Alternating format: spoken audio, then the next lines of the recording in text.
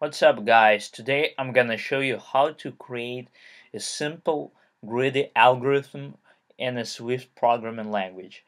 Uh, so what is the greedy algorithm? Uh, in this case uh, I'm gonna create a program which will basically just say uh, what is the uh, smallest amount of coins we can give to our customer as a change let's say we owed uh, 5 cents to our customer. Um, the most efficient way is to just uh, give um, one coin of 5 cents. Uh, and uh, the answer is going uh, to be just 1.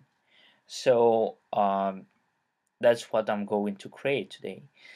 Um, concerning the language, Swift is a not a brand new but um, somewhat new programming language created by Apple.